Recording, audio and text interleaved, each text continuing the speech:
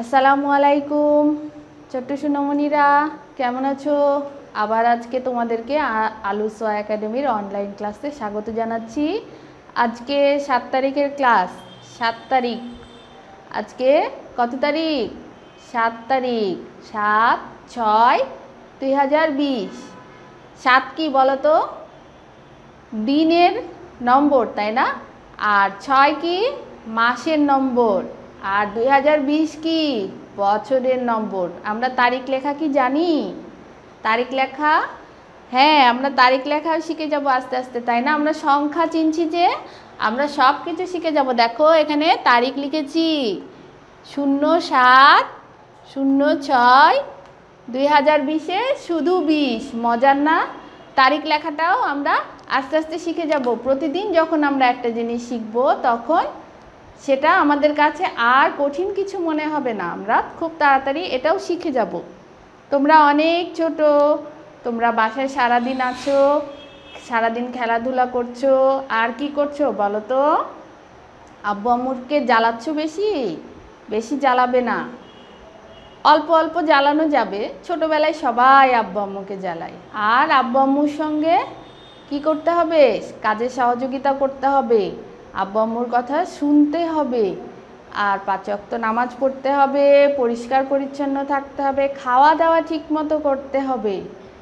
আর খেলাধুলা তো করতেই হবে, খেলাধুলা ছাড়া আমরা একটুও থাকতে পারি না, তাই না?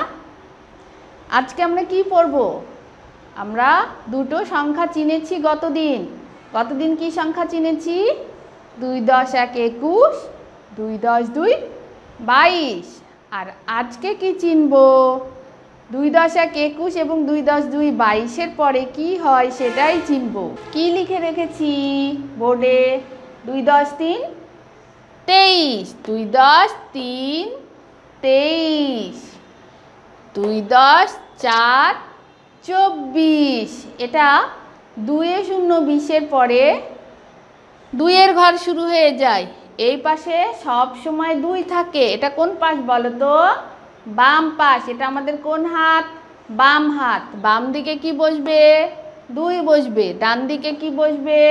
তিন বসবে। এটা আমাদের ডান হাত। ডান দিকে তিন বসবে। তাহলে কি হয়ে যাবে? দুই দশ তিন তেইশ। দুই দশ চার চব্বিশ। আমরা এক থেকে দশ পর্যন্ত যখন লেখা শিখে যাব তখন আর কোনো সংখ্যা লিখতে আমাদের কষ্ট হবে না, কারণ আমরা সব কিছু তো পারি, দুই পারি, তিন পারি, দুই পারি, চার পারি, সব পারি। তাহলে আমরা লেখা শিখতে আর হবে না, আমরা সব কিছু শিখে গেছি। কিন্তু কোনটা কোন দিকে লিখতে হবে সেটাই শুধু আমাদের জানার বিষয়।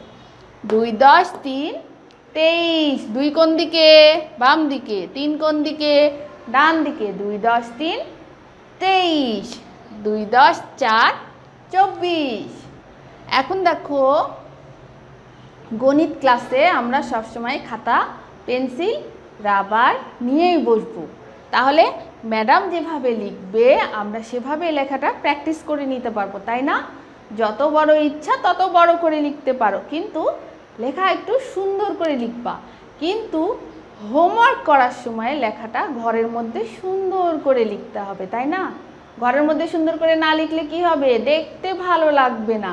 যেটা দেখতে ভালো লাগবে না, সেটা আমারও ভালো লাগবে না, তোমারও ভালো লাগবে না, তাই না? এখন আসো, কি লিখছি?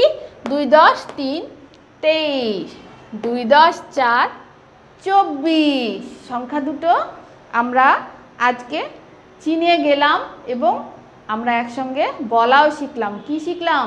তেইশ এবং চব্বিশ। এখন দেখি তো আমরা গতদিন কি শিখেছি সেটা আমাদের মনে আছে কি না দেখো তো আমি কি লিখছি। এটা কি দুই? কারণ এটা দুইয়ের ঘর। আমরা দুইয়ের ঘরেই শিখব। দুইয়ের পাশে এক বসালে কি হয়? দুই দশ এক একুশ। কে কে বলতে পেরেছ? আমি জানি, তোমরা সবাই পেরেছ। এবার দেখো তো, কি লিখব? দুই দশ দুই বাইশ। দুই দশ এক একুশ। দুই দশ দুই বাইশ। দুটোই আমরা চিনে গেছি, তাই না? এবার দেখো, এটা আজকেই শিখলাম, তাই না? এটা কি বলো? দুই দশ তিন তেইশ। দুই দশ তিন তেইশ আমরা শিখে গিয়েছি। এবার কি আসবে বলো তো? কত পর্যন্ত শিখেছি? দুই দশ। এটা কি? চার, দুই দশ চার, চব্বিশ। দেখো, চশমা উল্টো করে দিলেই হয়ে যায় চার।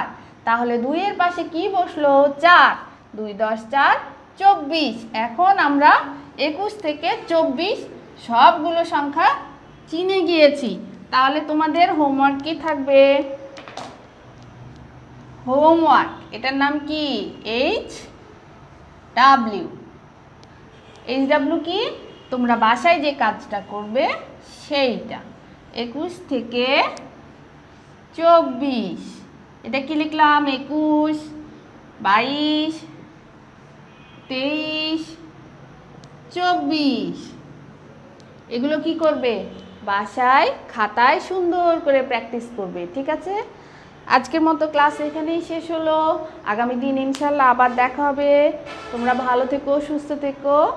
আর নামাজ পড়ো বাবা মায়ের কথা শুনো ঠিক আছে? আল্লাহ হাফেজ আসসালামু আলাইকুম।